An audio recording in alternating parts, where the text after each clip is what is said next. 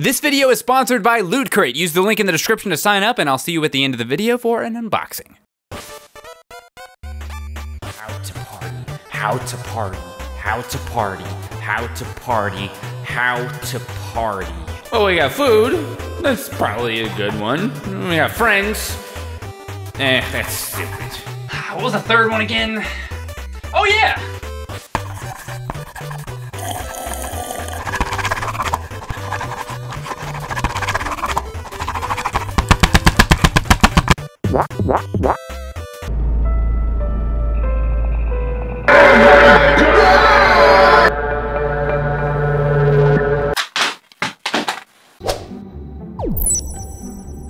Ready, set, go. Shrek Super Party! This game is not great. I'm sure that much is not surprising, but it does have one redeeming quality. The bug mechanic, which was kind of off-putting at first, is actually decently fun. After each mini-game, players can switch bugs with other players. Third place switches one, then second, two, then first, three, in that order. Matching bugs are then squashed up and added to your overall bug drops, the main objective of the game. It's nothing too interesting, but it does add some strategy and planning sort of. But everything else in the game sucks. The presentation, music, everything. Especially the mini games. 90% of them are as simple as running around and collecting things. Here are just a few highlights.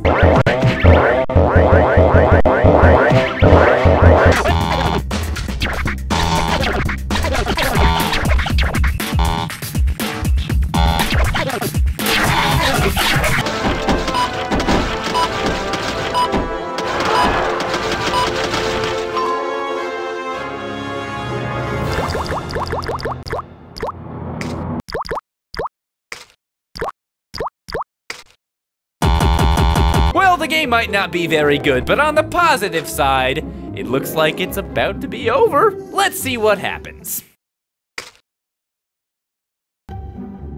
Uh, wait. Nothing happens? What a ripoff! Uh-oh, Shrek, off to the evil bog.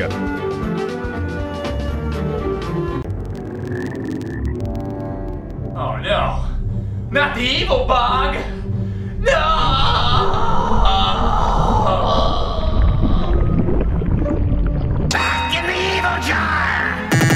Also, I just wanted to mention, I had three friends over at my house when I was recording this game, and I could not get a single one of them to play it with me. That's not relevant to anything in this video, I just thought it was funny. cutting with scissors. Snip, snip, snip, snip. Do some sewing. Sewing, sewing, sewing, sewing. Pick a hair. Which hair do you like best? Just reach inside your soul. Make a choice. Make a choice. Strut your stuff on the runway. Strut, your stuff. Okay, strut, strut your stuff. Looking good. Looking good. How are your lips? Looking. How are your lips? Put some of that on your lips. Put some of that on your lips. Make sure you put on makeup. You know, you don't look good. You don't look good without it. I don't know if I can put that in the video.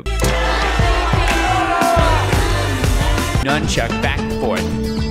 Nunchuck back and forth.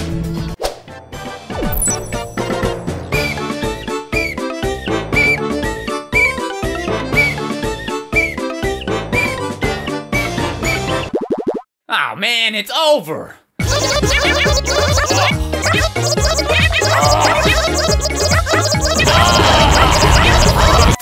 you who may be too young to know, Tamagotchi were these little virtual pets. You played with them, took care of them, cleaned their poop, fun stuff like that. Tamagotchi Party On is nothing like that at all. It is a party game where players compete to become the president. Now this concept sounds like it could be fun, but just trust me, it's not.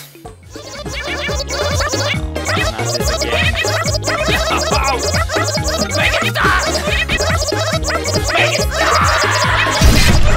only are the mini games forgettable at best, they're also all one-player mini games. So instead of something like Mario Party, where everyone rolls, then plays a competitive game together, you have to sit around and wait while the other players or computers roll and then play their game, one after the other, after the other, after the other, which is boring.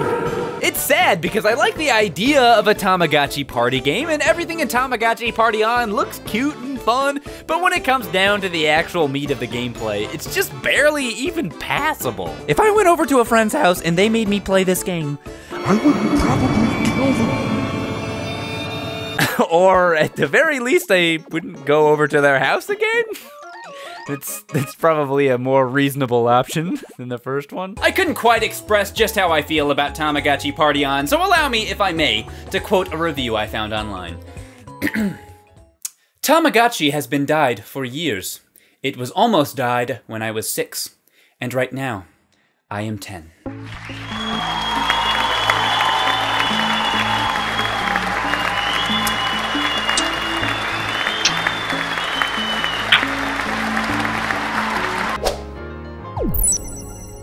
Sonic Shuffle. The story in this game is pretty complicated, but I'm gonna sum it up for you real quick.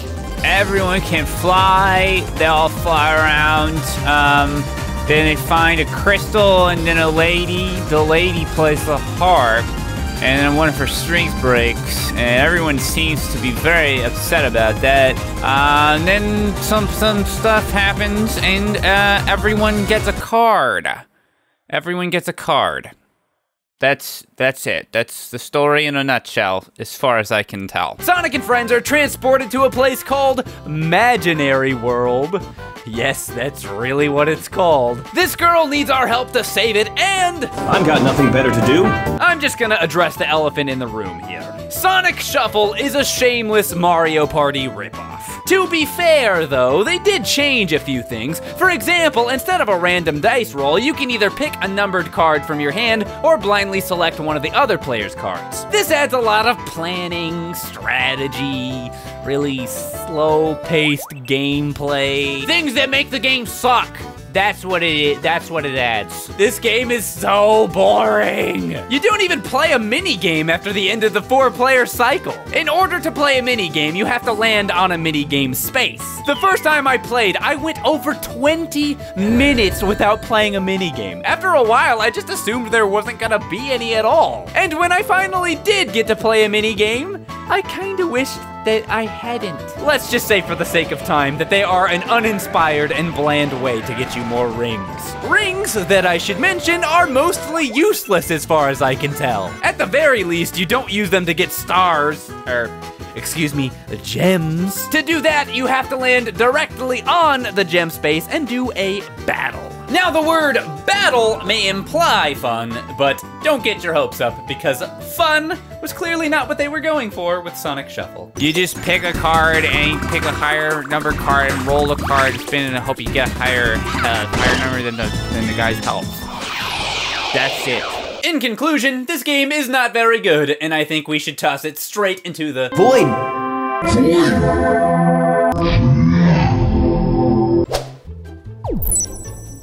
At number six, we have Truth or Lies. Someone will get caught. I don't know if that's part of the name or not, but it's there. Let's find out who's telling the truth and who's telling a lie. Our exclusive lie detection software will uncover the truth. Who in the room do you think has had the most to drink tonight and why? It's just me and Todd in the room, and I'm pretty sure neither of us have had anything to drink. Lie! What the heck? Our exclusive lie detection software will uncover the truth. Who would be your first choice to sleep in a tent with in the woods? Why? Uh, my wife, because I love her. What? think so, lie. No, no, no, no, no, no. This game's this game is rigged. This game is rigged. Our exclusive lie detection software will uncover The truth. the truth. The truth. Watch basketball if there was a two second shot clock or a three foot tall maximum height rule. This is a this is a stupid question. I don't like this question. Pick a better one. A lie! no, I was being serious. It's a stupid question. That was the truth. This game's just salty. This is what it is. How many books have you read for leisure in the past year? Two. What? Two. I did it. Two. Two.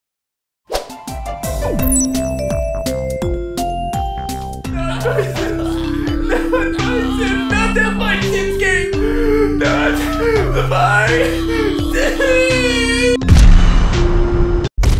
If you've been subscribed to my channel for a long time, you may have seen some of the My Sims videos I did a few years back. Ever since the finale episode on My Sims Agents, I've had a lot of people ask me to play a few of the other random My Sims games, specifically My Sims Party. Well, here you go! I'm playing it. Are you are you happy now?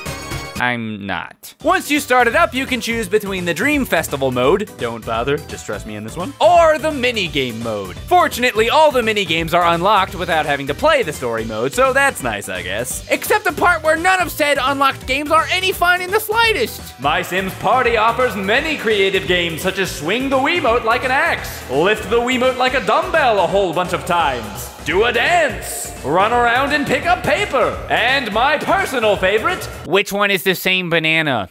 Uh um uh Shoot!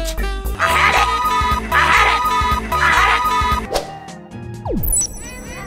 it! Are you guys ready for this? It's time for Imagine Party Babyz. uh that's babies with a, a Z. It's it's cooler that way. What can really be said about Imagine Party Babyz? I know that's a pretty generic way to start a top 10 segment, but seriously, what can I say about it? It's a stupid party game with babies. That's all it is. Here's a funny clip of me and Jeff playing it, I guess. There you go. What are we doing? Shaking the controller? I found a good tactic, I think. Oh you listen to this? You, you hear that? We can do this! Oh, I will win. All my pride is in this game. Okay, now this we oh, are come on. in a dead heat. Oh, come on! Come on, baby. Come on, blue baby. No, I can't even press it fast enough because I'm too busy I'm laughing. too busy. Yeah. I'm just like, I think it just settled in what we were actually doing right now. And I was just like, what the heck is happening? Yes! Uh, yes! I think that was me! No! I am the winner! oh my god. All that effort for nothing. Nickelodeon Party Blast. It's bad, it's bad, it's so bad. Holy bejeez, it's bad. It's bad. Okay, let me slow down here a bit. Nickelodeon Party Blast is not a game. It is programmed diarrhea on a disc. There's a few different games you can play, but let's check out the first one, Food Fight. I won every single level in this game just by hiding from the other players. The first level, I locked myself in the closet. Victory! The second game, I jumped onto this table and didn't throw a single piece of food, and victory! The third level, I just stood up on top of this fridge and watched the chaos taking place below me. And what do you know? Victory. Then after all that, there is the easiest boss fight I have ever experienced. I think I'm actually gonna beat him without getting hit a single time. No. No! How could you do this? Rain down pizza from above! Feel my pizza rage! There's four other game types, but none of them are any better, just take my word for it. Some of them are barely even different from Food Fight anyway. It should be a crime to sell this game to children, to anyone. I'm serious. I'm serious. Um, guys, someone should probably flip that over. I mean, I know this is funny games and everything, but Tommy is a baby. He's probably gonna drown. Anybody? Anybody? Cole? Cole? Cole? Family Party 30 Great Games. 30 great games, 30 great games, 30 great games, yeah, 30 great games, 30 great games. You know it can't be lame because they put the word great right there in the name. Do not be fooled. Despite the name, the only thing great in this game is the opening music. Full disclosure, I did not play all 30 games. So if you want an in-depth review, you'll have to look elsewhere. Although I, don't know why you would why you would care. I only played about half the games, and I only needed to play one of the games before knowing without a shadow of a doubt that this game would make it pretty high on the list. The first one I played was Flying Teacups, also known as This game. Let's take a look at how that went.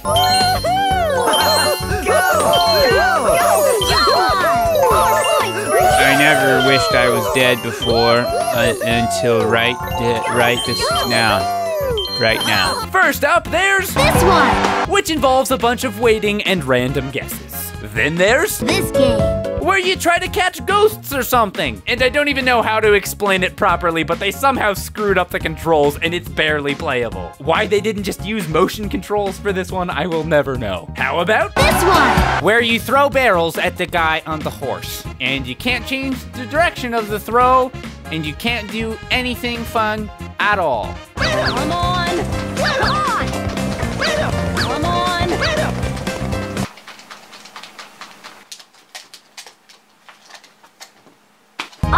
Save this new play. I'll save this. I'll save. I'll. I'll. At number one, perhaps I'm being too harsh here, but I don't know. I really don't think that I am. Animal Crossing Amiibo Festival. I love Animal Crossing. Anyone who's seen my videos knows that, and I wanted Amiibo Festival to be good probably more than anyone in the whole freaking world, but I was so disappointed in this game. If anything, I was so optimistic about the game, despite all the criticism it was receiving pre-release, that it's that disappointment that is causing me to put it at number one. You see, whether or not I had played any of the previous games on the list before making this video or not, I didn't expect any of them to be good going in regardless. But Amiibo Festival, I mean, come on! It's Animal Crossing! And it's so cute and so charming, but it's also just so boring. It's boring! I think what frustrates me the most about it is that I feel like it could have been so much better. First of all, minigames. Minigames of any kind in the main game would have added a lot, but even though I knew it wasn't gonna have any going in, I was still really excited to play it. I thought that it would be more like an Animal Crossing meets Fortune Street rather than an Animal Crossing meets Mario Party. But unlike Fortune Street, which involves a lot of strategy and planning as well as luck, in Amiibo Festival, you just tap your amiibo onto your gamepad. That's it. That hurt. I'm only barely being sarcastic. You roll the die, watch an admittedly adorable and cute little cutscene, and either something good or something bad happens to you. Yay! It's a video game. Except it's almost not a video game at all. It's more like a non-game. There are some mini games, but not only do they have to be unlocked by playing through a bunch of the incredibly dull main board game, they also require amiibo cards. And speaking of amiibo, the absolute worst thing about this game, its cardinal sin, is that it made me have to unbox all my freaking amiibos. What's up with that?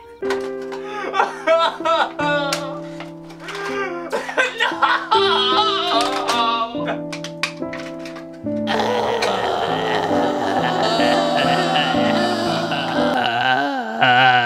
There, Isabelle. How are you doing? Not so great. I wish I was back in my cardboard prison. I felt so safe there. Well, look on the bright side. At least we get to play Amiibo Festival now.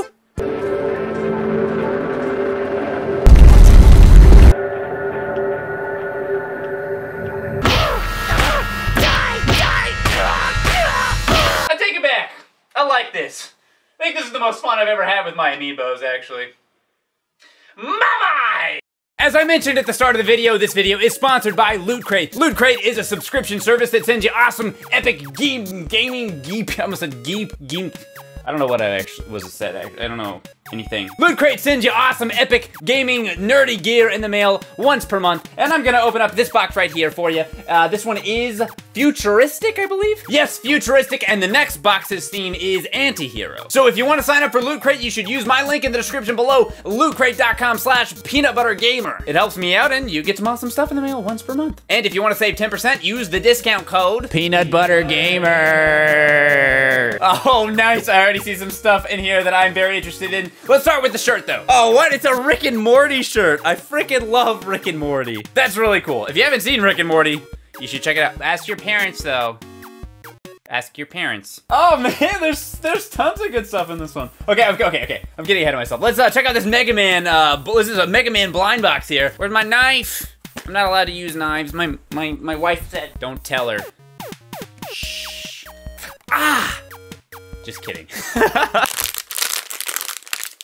Alright, so it looks like we got Red Mega Man here, even his arms move. Whee! So this is Star Trek The Next Generation, aka the best season of Star Trek. No questions. It's a little USS Enterprise uh, memorial sticker here. I don't know if you can see that. There we go. We also have a comic here called 4001 AD. I'm actually not familiar with it, but it looks pretty cool. I love these little pins they send. Uh, this this uh, month is Star Trek uh, Online themed, but it is the Live Long and Prosper uh, pin there, as you can see. And last, but absolutely not least, we have this little Futurama figurine here. Let me open it up. This is the Planet Express ship from Futurama, uh, and if, I gotta say, if this was the only thing that was, oh, it's even magnetized. If this was the only thing that came in this month's Loot Crate box, I would not be dissatisfied. All right, so that is this month's theme, futuristic. Again, next next month's theme is uh, anti-hero, and if you want to get that box, you gotta sign up by the, uh, uh, the 19th. So sign up with the link in the description below, lootcrate.com slash peanut butter gamer. Again, it helps me out, helps the show out, and uh, I appreciate it. Bye-bye! If you want to see more stuff, you should check out PB and Jeff on my gameplay channel. You can watch the new episode, Party Babyz, here, or if you want to see the video where this idea came from, you can watch the My Sims Party episodes here. Or if you want to see an actual good game, you can watch Mario Party. Hey guys, this video ran so long, so I'm just gonna make this short. You know the drill. Subscribe to the channel, like the video if you enjoyed it, all that stuff. Follow me Facebook and all that. Thanks, guys. I am gonna go now. Bye bye. catch up all on my iPad. I don't just go to sleep and I was, I was dead.